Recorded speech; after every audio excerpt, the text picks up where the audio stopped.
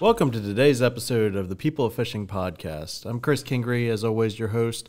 And today I've got a Bassmaster Classic qualifier local to the Florida area, Rich Howes. How are you, Rich? What's going on? Man, it's awesome to get you in here and uh, and kind of go over what, what you've done in your, your lifetime. I've I've only known you a few years, but it's been it's been a interesting few years, um, and uh, so I just wanted to bring you in and kind of go over some of the things that you've experienced along the way, and, and Yeah. talk about you know your daily life and things that brought you to bass fishing in general. Yeah, no, I'm excited to be here and uh, seeing the first couple. It's been fun to watch and uh, Yeah. happy to be a part of it. So we, we've traveled together, and not, not necessarily together, but we've always ended up somehow at the same Same, uh, locations, and- hotel or and, things lodge. like that. Yeah. Um, Rich is a Bassmaster Opens pro and has fished for how, how long have you fished the Opens? Uh, I think this is the seventh year, I believe. So when did you qualify for the Bassmaster Classic? What year was that? The event that I won was in February of 13, so I fished the February 14 Classic. So that and that was at Kissimmee or Uh, Toho. Toho was where I won, yeah. So your your home lake. And, yeah, well, and- technically Kissimmee is Right. where I was. but right, right. we launched right, out of Toho. right. Yeah, yeah. Rich is the man at uh, at Kissimmee, um, and the king of patience is what I like to call him, uh, because he's like the the grounded roots for everybody that we we travel with, and the voice of reason. talk talk everybody off the ledge. so when talk me through that uh, that experience of of you know start to finish in, in your opens career, I guess. So like when you when, when you first started the opens, what what did that look like to to you? What made you start? Yeah, so um, I, I'm going to take you back a, a few years before that event when I first started fishing uh, beyond the BFL level, I guess you would call it. You know, like so many, I started uh, in the back of a boat in the BFLs in the early 2000s. After a couple years, jumped to the front of the boat, um, and you know, it was always make the regional. Yeah. You know, and it was more about making that regional, and um, it was like a vacation in the fall. And I always looked forward to that. Like, I'm not going to try and win. I'm just going to get enough points so I can go out of Florida in the fall and fish for something big. So, uh, you know, I did that from probably 2002 or 2001 might have been my first year. And, you know, I made eight straight regionals or nine straight regionals. And I was like, oh, this is really cool. And I loved fishing for that All American and for the boat. And it just got your competitive juices flowing. Um, around that time, 2008 or nine, uh, I switched my style of fishing and I decided, all right, I'm done fishing for points and I'm going to try and make money. And so I changed my uh, tournament philosophy to try and win versus just come in with a limit. Uh, and I hit a couple big wins, um, won a couple $10,000 tournaments, uh, you know, uh, kind of a state championship type stuff, and got a taste of holding the big check over my head. And at that point, I was like, you know what? I'm going to try and take the next step. In uh, 2010, I believe they had uh, the FLW series. Mhm. I don't know if you remember. They, was, The FLW Open Series. uh, yeah, it was kind. It wasn't the tour, but they had like four events out west and four here. Yeah. And I jumped in the Okeechobee one, and so you're fishing for a hundred thousand. You're, you know, Scott Martin won that one. Uh, back when John Cox was a young boy, and, Yeah. and he was, you know, I remember him leading that tournament for several days, and then Scott got him at the end. But, uh, you know, I thought, wow, this is really cool. I knew that I didn't want to like fish a tour and make it my life, but I was like, man, I, I love fishing these big events. What else is out there? Do I go up to the Everstart or I don't know what they call it now? Uh, The Toyota Series. Yeah, the, the Yeah. AAA level of FLW. Yeah. Was the Costa Series, now Co- yeah. Series. Yeah. So, uh, so then the opens, you know, kind of popped up in my head, and I said, well, why don't I try this? Uh, you know, the Bassmaster stuff. I had won a couple of the ABA uh, events, and so I signed up for the Open tournament on Toho. I think it was 2011 or 12, the one Swindle won. and I just signed up for that single event and fished it and just had a blast. Um, and of course, finished in 41st, one spot out of check. Uh, but I had that taste of, wow, I can actually, you know, it's one thing when you fish FLW, but eh, when you switch to the bass side and then the Bobby Lanes and the Right. the Chris, Chris Lanes, Lanes, and yeah. the Aaron Martens. Uh, just it's a different feel, and I was like, man, that was so cool. So uh, that was the first Open I ever fished, and did well. Uh, I then had a couple knee surgeries and uh, had some business things that kept me from doing it. Well, I targeted 2013 to I want to fish the whole year Mm-hmm. and travel and do all that. Uh, and then I happened to win the first one of 2013. So that was the second That's a Open good I ever for your first one that you're planning to fish all of them. too. yeah, second open ever. Yeah. Um, you know, and won it, and you know, from there, uh, you know, you get the ticket to the classic, Mm-hmm. and you know, it's interesting when in the first one you have an entire year for it to sit on you. Right. um, but what's great about it is it gave me a year to uh, tackle the business side of things, Mm-hmm. um, and so I was I was very good at uh, capitalizing on having a year, uh, upgrading sponsors, and you know getting all the other things set up. So Who was your Who's your first big sponsor that you would say that that kind of put you into the taste of the business side? Uh, you know, you have the the discount programs Right, that yeah. are around. And the way I look at those is like it, it depends on how it's going to benefit you on what you put a value on. Right. So like if you're going to buy lithium batteries anyways for your boat and you get a 45% discount or 30% discount, that's huge and and, and It's, that it's very helpful. and you know if I'm going to I'm buy them anyway, sure I'll promote them. I mean, Yeah, you know, absolutely. uh, the, the like first uh, the first paying sponsor uh, where they actually give you cash. Right, Um, You know, happened during that year. okay. Um, so I had, uh, I've, by trade, I'm an insurance agent, and uh, I work with a lot of different insurance companies. Um, and so I started calling insurance companies to say, hey, do you want to take part in this classic thing? Uh, reached out to two or three of them and got the farthest with Allstate. That happens to be who we write most of our insurance business with and ended up with the national marketing director of Allstate, and that was my first, you know, taste of you're going to sign a long contract, right, right, You're- right. and we are going to control the narrative, and you have to do this, uh, and came with a large chunk of money. Uh, Right, right. so you know, I, I once I landed that one, I knew I was set. Uh, from there, you know, I then got other paying stuff, you know, from Fitzgerald and uh, Rat-L-Trap and uh, a whole host of others. Right, right. But Allstate really, you know, and in comparison to the amount of money that you make from the smaller ones, it was it was very big, and they stayed with me for uh, three years. Mm-hmm. And um, I actually introduced them to the Bassmaster folks. Mm-hmm.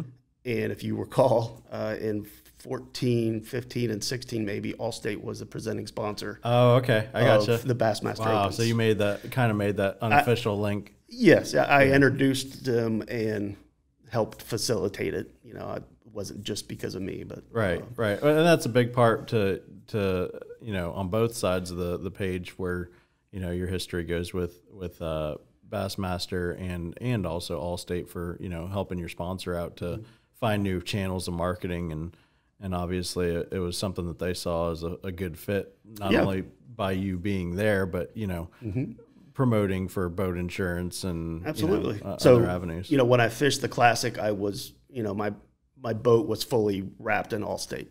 Uh, it was kind of comical because uh, the say the classic that I made was the first year that Geico became the like major sponsor of the classic. Like it was the Geico Bassmaster. right, Classic. right. and uh, and I'm being pulled through the arena in an Allstate wrap boat with an Allstate jersey, and all the the big Geico reps are you know in the stands like in the VIP seat, seat, uh, seating, and Mm-hmm, Uh, I made a few uh, funnies while while doing it. So the uh, would you say that that that experience caused it to um, take it from an out of pocket experience to a uh, a role with you know relying on sponsors to fish at that point, or Yeah, from from then on, uh, it it doesn't be. It's not a family expense. right, right, It's- yeah. and that makes it a lot easier to justify that you're you know traveling that many times a year and the taking off time from away. work to do Absolutely. it. absolutely Yeah. you know that that way it's not money out of your pocket to to Yep. to do it. And And I had always, in my mind, uh, right or wrong. So this isn't a, a, to cast judgment at all. yeah, absolutely. When I won, I had a three month old daughter that she had just been born. Uh, she comes with some special uh, special needs, and I knew there was going to be a lot of expenses. And so I always told myself, if I'm having to dig into Nora, that's my daughter. If I'm if I'm digging into her medical savings, I, I'm not going to fish. Right, So right. um, once I secured the ability to fish these and make money, whether I cash a check or not, then I was kind of all in and uh, made the deal with my wife that I would not try to go full time. Um, it's not really a desire of mine. I go fish these three or four a year. Right, I right. disappear for a week, and then I come back, but I don't fish. like a mini vacation. It is, but I, I don't fish often throughout the rest of the year. I'm Right. not spending every Saturday getting ready for the next team tournament. Yeah, Um, and, and so that that's been our our deal, family deal, yeah, so to speak. yeah. Yeah. Yeah, the uh, the the time off is always it seems to be the hardest part for people, and and some guys that I've worked with that I always tell them when we do things with them as far as sponsorship stuff that uh, to to secure that part and just in helping coach them a little bit even mm-hmm. is I always tell them the first person they should go look at is somebody they work for mm-hmm. because and give them the first right of refusal because that's you know that's going to be more of a benefit to somebody like them because you have a personal interest mm-hmm. in promoting them because it enhances your job security. And you know what they do, and Yeah, absolutely. What, what better everything about- spokesman? exactly. You know, to and that's the way I when approaching Allstate. It was like, can you could you have a better representative than the guy fishing the classic who's also sells your product? Right. Uh, so Now, did you have an all state all state office at that point? Um, yeah, okay, so you were an agent at that point. Yep. So we have, uh, as far as the family businesses, we have uh, Allstate agencies. We have uh, benefits enrollment uh, firms that my brother runs. So both in the health and employee benefit arena, as well as property casualty, which would be the Allstate portion of it. Right. How, how did you get into insurance? What what what threw you into that that mix? uh, so my father was a, uh, music professor at Delta State University in Mississippi, uh, Cleveland, Mississippi, Okay. and uh, they don't make a lot of money. And he eventually, you know, I- he's all the way to where he was like a doctorate of music or whatnot. So, mm-hmm. but he eventually he's he started he opened up an insurance business kind of it's with colonial life and accident it's kind of like an Aflac the supplemental stuff Yep. Yep. that's when those first started coming out and the irs made some tax changes that allowed corporations to utilize something called a section 125 i don't want to bore you with insurance talk uh, I hear it all the time. My, my wife's an insurance agent. so okay no that's right I, I get to listen, listen to insurance at home all the time. All right. She's gonna kill me right now. good for you yeah. so uh, so anyway, he got into that and had a really great successful career. And uh, once I got out of college, I was playing guitar and singing in bars for a living, and I needed to do something with my life. He said, "Well, go get an insurance license. I'll introduce you to somebody. Go do part time, see what you think." And that's what started it. That was like 1996 or seven, something like that. And the insurance is what eventually moved me to Florida. Um, Right. This I, this was up in Ohio at the time where I was uh, playing guitar and whatnot. And so in 2000, either 99 or 2000, um, I took a position with an insurance company that brought me and moved me to Florida. I gotcha. Yeah. So when when somebody's shopping for boat insurance, what are like the top things that you would recommend to look at um, for for somebody that's uneducated and what they're looking at? Because I know a lot of people that shop for it. They're they're like, I'm just going to get the bare minimums because you know ah, it's not required and this and that. Except in tournaments, obviously we're required to have liability and all that. Right. But um, what what would you say uh, as a professional in the industry of what you would recommend for everybody. and I, I, see your rants on Facebook about the, the full coverage and uh, and all of the misnomers over the years. So um, uh, it's something that uh, you know. I'm in insurance, so obviously I'm very biased. but people, whether it's your boat or a home, mm-hmm. so uh, you think about the investment in money that you make for a boat, especially a new boat. I mean, if yeah. you you go pick up a sixty thousand dollar rig, that's a lot of change, yeah. right? And you're going to be with that thing for a long time. Mm-hmm. Um, same thing with buying a house. So you buy a house. A lot of times, it's it ends up being uh, one of the bigger assets in a family's life. And the first thing you say is, you call somebody and you say, "Give me the cheapest. Mm-hmm. worst insurance that you got." that doesn't make sense to me. Like you you you go through all this to get a boat right. or a, or a home, and your immediate thought is give me the cheapest thing you got. That, so I always like time out. Let's not go with cheap. Let's first work with understanding what the coverage does yep. and make sure that if you have a claim or something happens, we don't make this a financial disaster as well as an accident. So yeah. Yeah, because uh, you don't buy it for you know for planning on having an accident. It's what it's when right. you really need it. You're right. So sometimes we'll get calls. You know, hey, I got this extra coverage. And I haven't even used it. That's good. Yeah, like means your rate's going to be cheaper. what that, that, means you didn't get into an accident. Like yeah. you don't want to use this. But so to answer your question, uh, when it comes to boats specifically, uh, there's something called agreed value versus uh, actual cash value. And basically, an agreed value, let's say you had a $60,000 boat and you work with your insurance agent or company or little lizard online, and you say, I you know I bought this thing for sixty thousand dollars. If it was totaled, mm-hmm. I want sixty thousand dollars. Right. And boats depreciate very very quickly, um, especially in the first four or five years. Right. So if you uh, get an agreed value policy, you're guaranteed that payout in the event of a total loss. If you don't get that particular value, you get something called actual cash value, and that is going to include depreciation. Okay. Um, I call it garage sale rates. Right. So um, let's take this, uh, you know, brand new Triton. You spent sixty grand on it, and in six years it's totaled due to an accident. You're either going to get sixty grand which will more than pay off your note and probably put you into another boat if that's right. what you choose. Or you're going to get 25,000 because it depreciated that far in 7 years and you still owe 50 because you right. put it on a 30-year note or a 20-year right, note. Right, right, uh, that's the biggest risk is how quickly these things depreciate. So always make sure you're getting an agreed value. Yeah, uh, absolutely. For the amount that's going to cover your your uh, note, your, mm-hmm. your loan.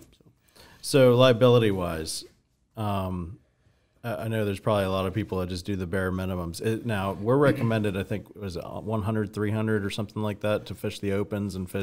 300,000 300, is what the tournament organizations uh, require. Realistically, what does that cover? I mean, I know, I know it sounds like a lot of money, but in the, in the, you know, essence of medical expenses or whatever else it comes down to when it's not your life it's somebody else's. Right. Um, what is that actually is that a, a, proper amount or is that something that people should look higher to? 300 would be the absolute minimum i would recommend somebody. Uh, you first got to understand what liability insurance mm-hmm. is and this will apply for your boat or your home uh, in your auto insurance. Uh, if you were to injure somebody whether it's in a boating accident or a car accident, and I hurt somebody and I'm responsible for their medical bills. Mm-hmm.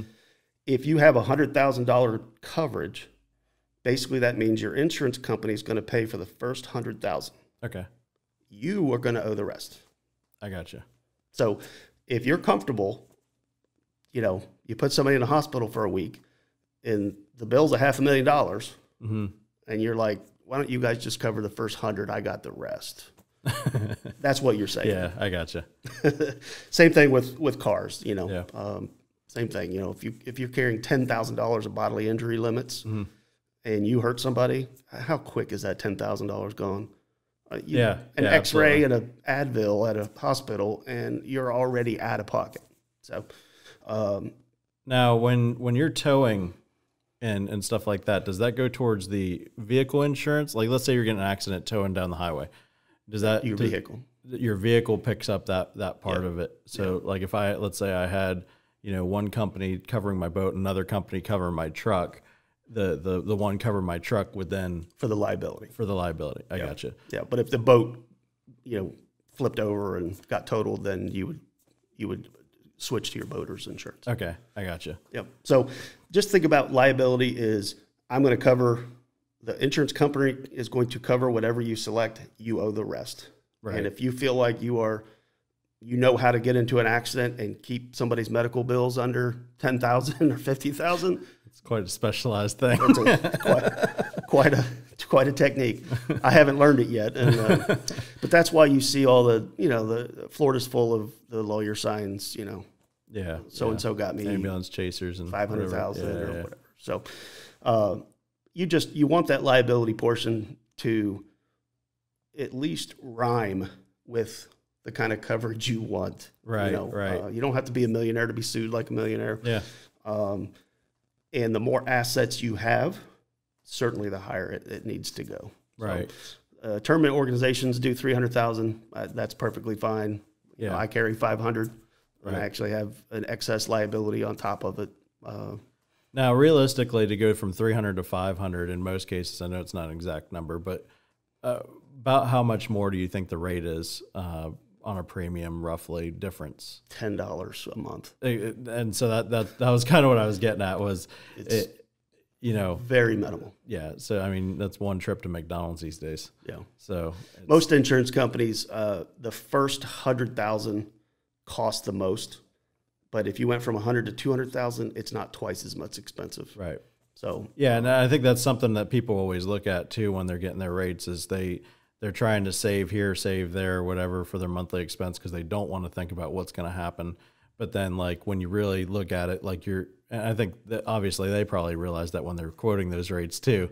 So that's why the first part's the most you know expensive part of the policy, and then mm-hmm. The the the upgrades are actually minimal compared to what you've already put in. absolutely. So it's almost like you might as well just take it the extra step and you know pay the extra couple hundred bucks a year. Just cover it. Yeah. I mean, you're spending 60 grand. Yeah, exactly. Yeah, it's, Why are you trying to get the worst thing possible? yeah. Somebody told me once uh, on on one of the offshore charters here uh, that he goes to the Miami Boat Show every year, and he's like, he's like, you guys are running these charters in half a million dollar boats. He's like, you don't buy the ten thousand dollar lifeboat that pops up. He's like, it's ridiculous. Yeah. And so it's it's things like that that make you kind of think about all that stuff. It's Yeah. like the time you don't need it. You know, and that's the the, the non fishing career that I have. That, that's what I do all day, every day, is try to you know uh, help people with their insurance, understand their finances, what it truly means. Um, you know, and we do a lot of financial planning type stuff as well. So, Right, right.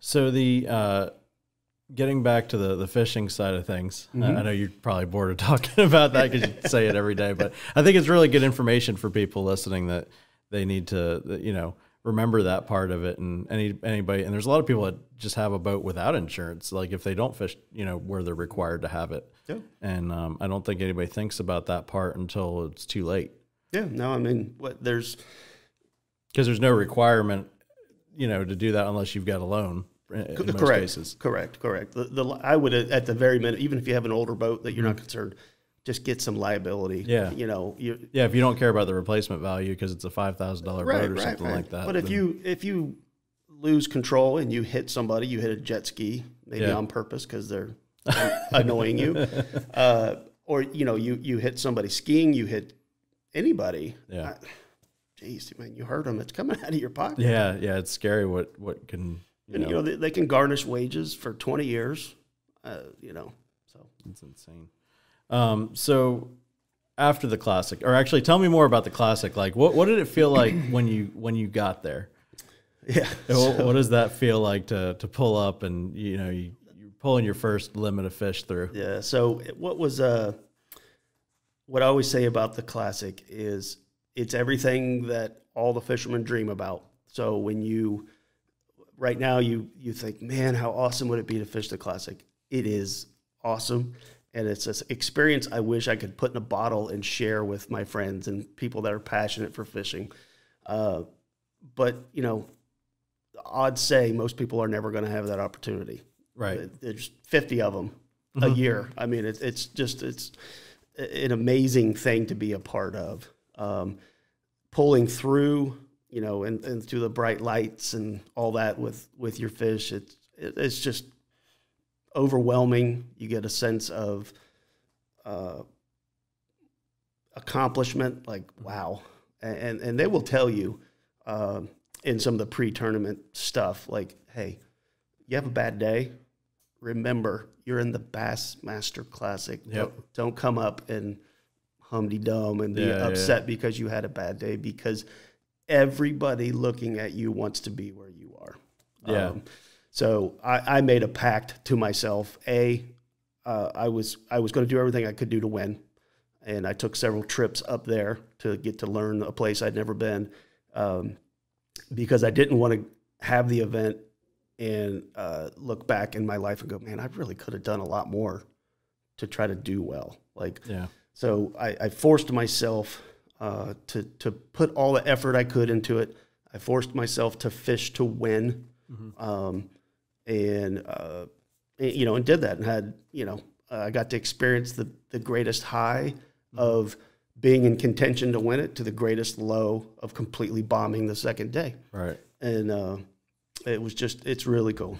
The whole week is really special uh, from uh, visiting uh, sick kids in the hospital uh, with some of the other anglers. You know, um, you know, we we went to one of the hospitals and they grabbed uh, me, John Crews, and uh, Edwin Evers and took us to the terminal level floor, and we went around to all these kids and just to see them light up and you know their situation. You know, so a lot of emotions from that all the way to the fishing experience. Right. So I don't think, I don't think a lot of people know about that part that you know just watch it on TV. Right. I don't think that gets contrasted as much as you know The uh, whole the, the other the other things that go on Yes. behind the scenes. yeah, media day, you know, the day with the kids. Uh, you know, not everybody does that, uh, Yeah. but during that week, Bassmaster does a lot for that community that is hosting them. We'll put it that way, you know. Right. So, media day is really cool. You know, um, it's just an incredible experience, and uh, you know, I always uh, one of the real popular uh, sports writers said, you know, people spend their whole life to get here, and they fish it one time, and then they spend the rest of their life trying to get back Yeah. because yeah. it's so cool. I've, I've heard that about even uh, guys locally here that have fished nat, uh, Bass Nation Nationals, Mm-hmm. um, and they they made it there once, and now they're like, I've got to go back. I got to do. I, I was so close to getting there, and now I've got to go back. Yeah, and I was certainly like that the first uh, couple years afterwards. It was kind of like you know, I know I can do this again. I know I learned so much. You know, Yeah, learned yeah. so much, and uh, you know, and almost did it a few times, but Yeah. uh, you know, haven't done it again. Um, been close, and uh, gonna keep fishing as long as I'm enjoying it Yeah, uh, and feel like I can compete. yeah, absolutely. Um, I think that's that's part of the the thing that you know, if you lose the fire, then what, why are you still doing it? Right. And that's kind of what Rick Clunn said when he won on the St. Johns River. He, he walked up and he, uh, I remember seeing an interview with him on, I think it was the third day or something like that. And um, he had, you know, he had, uh, actually, it wasn't an interview, it was his live camera. And he had put like a four or six pounder and somewhere between there, he was catching giants down there. And uh, he came up and he was shaking. And he looks and he said, I'm going to keep doing this till I stop feeling that. Yeah. And that was like, that was the real, and he's like a real, you know, he's hung on for a long time. And It's Rick Clunn. every, every time you think that he's like, oh, this is the year he'll retire. And then all of a sudden he like comes out and wins one out of nowhere. And you're like, oh my goodness. He's, Yeah, I, I would agree uh, with the great Rick Clunn. Uh, you know, if I go fishing open and I hook a big one and I'm not jacked up and shaking, then I'll know it's time to be done. Yeah, yeah, exactly.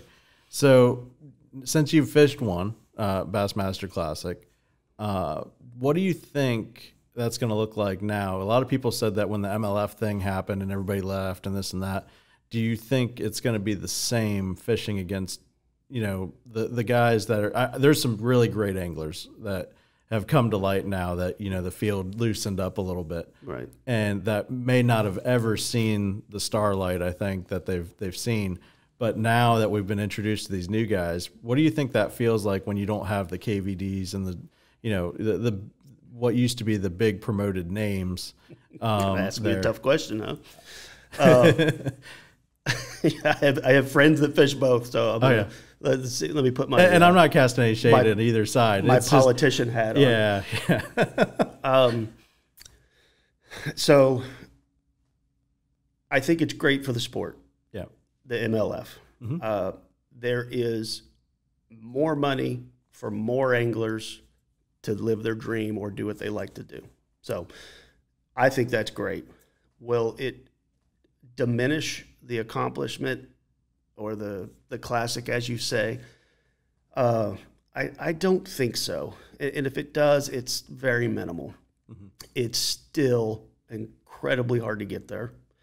Uh, they the production that Bassmaster does for those events is uh, just as important as the anglers that get there. So I, I guess what I'm saying is I think BASS is bigger than the names that used to be there, okay. and I think it will it will be just fine. It's about hanging that trophy over your head. That's exactly what it is. Um, and I also think that MLF can do great. And uh, I think what's overlooked, and uh, this is just me ranting about fishing, is it, it's a completely different sport. I mean, it's imagine if we change the rules of football to the team who had the most offensive yards wins. Yeah, It's a different sport. Right? I mean, you, you used to have some of these teams that their offense was terrible and they relied on their defense and special teams, and they would win seven to three. yep, Well, imagine if the, the most first downs wins. And that's in essence what has happened. It's a different sport. You fish very differently. Um, and so growing up, uh, the way I've tournament fished, it's always been just, I'm just trying to figure out how to get the biggest bite. yeah, And so, you know, personally, I would be terrible at it. Um, but there are some guys that doesn't matter. They're incredible and they'll catch a hundred or they'll catch the biggest because they're just bad to the bone. Weed You know, through the numbers. The Bryan Thrifts and the Jordan yeah, Lees. exactly. They can Jacob do whatever the heck they want. yeah. Yeah, the Wheeler, uh, incredible. So, um, I know there's a long-winded thing to say. I, I think the classic will continue to be uh, the pinnacle. Well, and I think still, I mean, those guys that made it there still had to qualify. They still had to fight to get there. Oh yeah, And and I think it's you know brought you know the the other guys were great, but I think the new evolution of anglers also are are really showing off. You know that they've really like Destin DeMarion. He's one that I've always paid attention to over the over the years. He's uh, you know fished fished with him in the opens and whatever. He's he's put his dues in as far as opens go to make the elite series and come up short so many times and you just it pains you to watch that guy because he's like he's a very good fisherman and in the off season he i think he guides on the st john's river and stuff like that and There's a lot of incredible fishermen out there, uh, uh, more than you would ever know. Yeah. you know, uh, there's just yeah guys at the club level even that, that could Absolutely. compete at a, at a national level that you know, absolutely, and that's that's why I say the MLF is great because it's more for Yeah. more people. I mean, that's yeah now you have the new NF, uh, npfl that's they're talking about and it's going to be another league and who knows if that i mean Yep. they, they could go out and you know be the the next best thing or they could you know flop like you know other things have happened Mm-hmm. And I think there are guys that are figuring out that the, the game is different at the MLF level. And you had Swindle came back and yeah uh, Palaniuk came back. yep And I know a few others that are trying desperately to get back. It's that's what they want to do. That's the game they want to play. They don't want to get the most first downs. They want to go for the five biggest.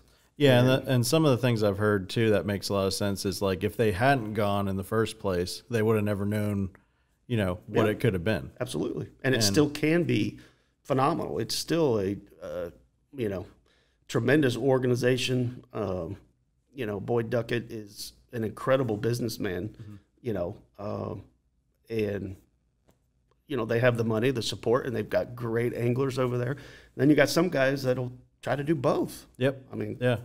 so You got John Cox that's doing FLWN bass Yeah. this year, and I mean, heck, he just showed up to the the uh, what was it the uh, the the championship for the super tournaments Mm-hmm. and didn't even practice. he he went straight from one event straight to the other, didn't never even practiced, and then he's second day of it, he's leading. Yeah, there, there's a. That's just one of those uh, gifts. Yeah. You know, uh, there is there is separation in anglers, and there's uh, what's interesting about our sport.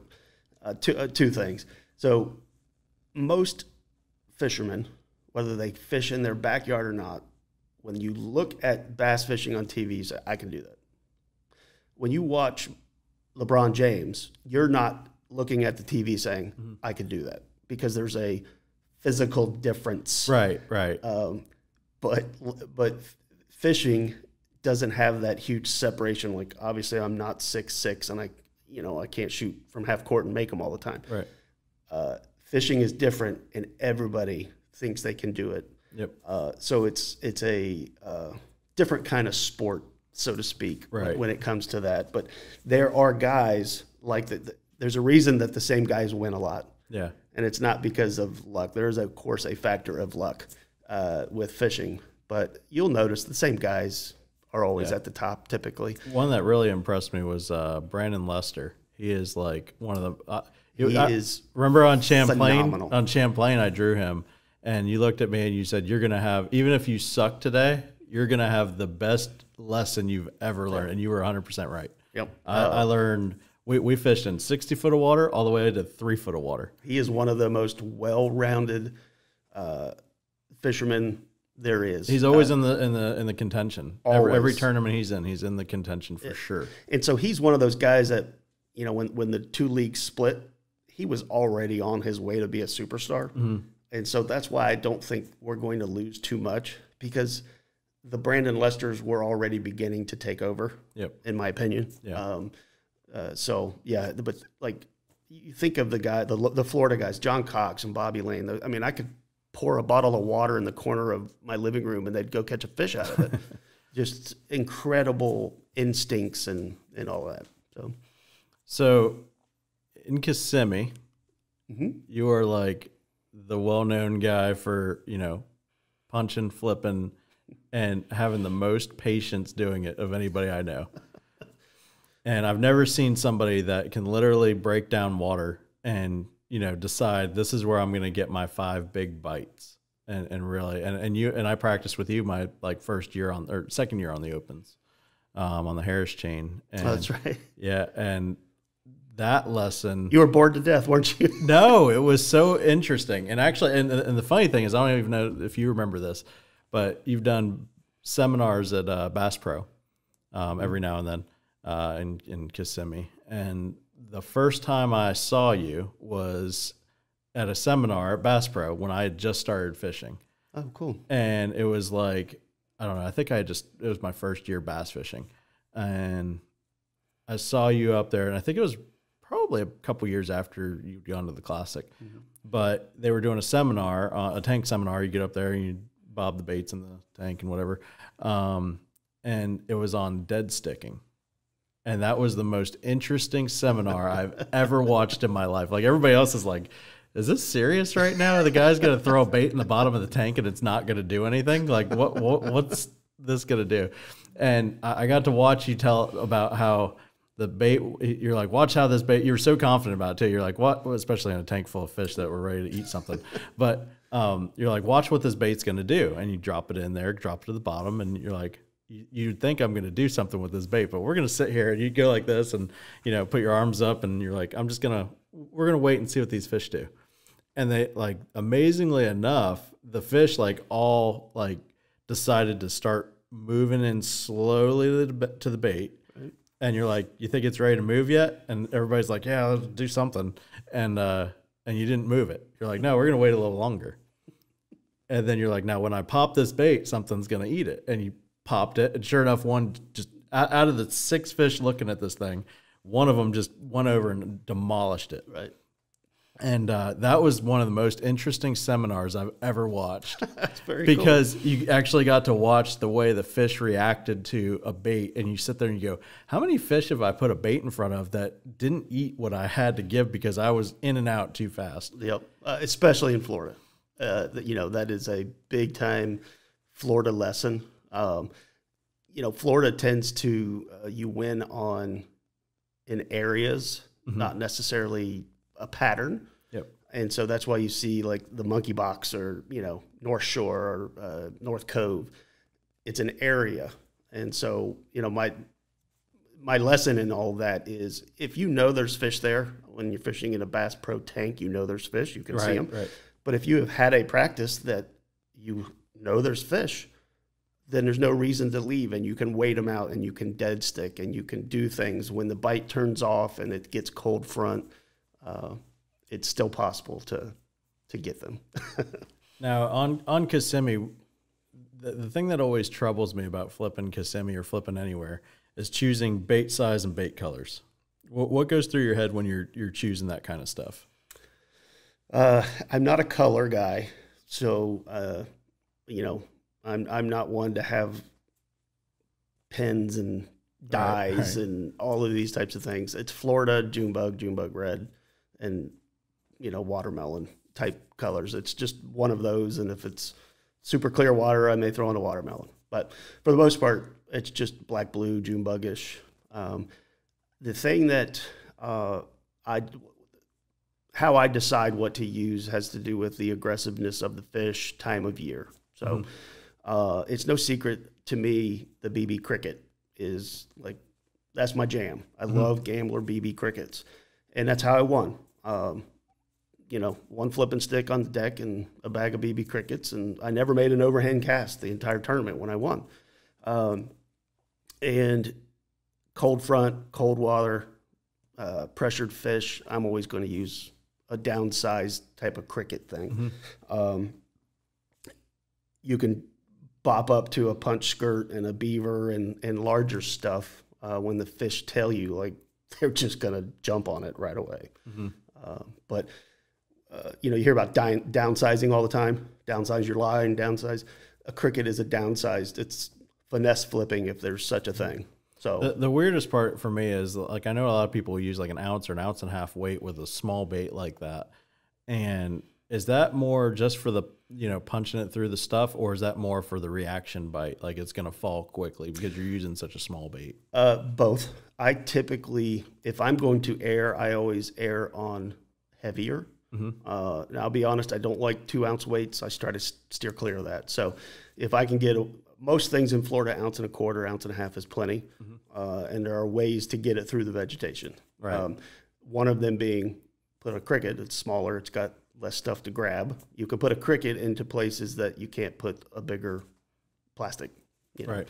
Um, so uh, I like to err, even if I'm fishing a speed worm or a chatterbait or any of those things. I'm going to lean more towards like a half ounce than a three eighth ounce. I when I stop the bait, I want it to fall quickly, and so I think it is that reaction that you're talking about, uh, and the heavier weight. So the the lesson I got on the back of the boat the one day was about dead sticking, but it was blind bed fishing is essentially what we were doing. Right. and forever I will, you know, think about that during the spawn, no matter where I'm at. Um, and yeah, you know, at first you're like, yeah, it's the most boring thing, and then all of a sudden it's like time slows down or speeds up or something like that, and you'll you'll start pitching and you start thinking about the way they're eating it, and then next thing you know, you're getting five or six bites in like 20 minutes because you're being really efficient about it. Right. And wh- what what got you into that technique? Like, what? How did you train yourself to get in that? Because I don't think that comes naturally. to to just like look at you know a, a huge lake like the Harris chain or Kissimmee or you know any of those chains that you know you've got all this water to cover. How do you decide to slow down that much? Yeah. So, um, it- didn't take me long in Florida, whether it be through Dock Talk or just learning from better anglers. You know, the the fish slow in Florida. You know, it's a common thing. You got to slow down in Florida. Uh, well, uh, my buddy, one of my best friends' name is Jay, and that was my tournament partner that when I lived in West Palm Beach, and uh, we would always joke. He he was like the most impatient person in the world. like, you know, he just had to move where I would slow down, and to try and get him to slow down while we were team fishing, you know, we would make jokes about like I'm going to pitch it in there, and I'm going to leave it until I until the fish just can't stand it, and they're finally going to bite it. Yeah. Um, and we I started like almost going overboard with how slow to fish. Like when you think you're fishing slow enough, slow down even more. And I just realized that wow, you pick up a lot of bites, Mm-hmm. you know, um, which then becomes a challenge. Is you got to find them, Right. which fishing slow like that would take forever. So you know when you're preparing for a tournament, you've got to fish fast enough to find them, but once you get the clues that there are fish there, I mean, just throw your boat keys in the water and just slow down. That's uh, uh, Bryan Thrift was laughing about Florida fishing, and he said, you know, he, he always makes this mistake because he leaves fish uh, because they're not biting because he's used accustomed Yeah, to everywhere north. else he he's He moves. 100 waypoints he hits in a day sometimes. Exactly. So he's always like, gosh, when I find him, I just need to throw my boat keys in the water and make myself stay there. And uh, so I've just, I'm a laid back guy in general. I'm not, you know, I'm always moving, but I've just, my personality uh, fits into that slow fishing. Um, and I will say it does hurt me when I leave Florida. Right, right. Um, so when I leave Florida, uh, so Lake Norman, I uh, finished second and almost went back to the Classic the very next year. And we're dock fishing and all those things. Um, the, the guy that won, uh, Andy Montgomery's the you know he he won a tournament. That's his home, one of his home lakes, and he probably fished hundred docks that final day. I probably fished thirty Wow. because I uh, because I'm so slow. But I actually, when I leave Florida, I put uh, reminders in my phone: keep moving, keep moving. Because like my nat- my natural instinct, if I got bit on a dock in a cove, I'm gonna fish for two hours in that cove, and you can't do that. Yeah, you, yeah. could- you do that in Florida, but you can't do that elsewhere.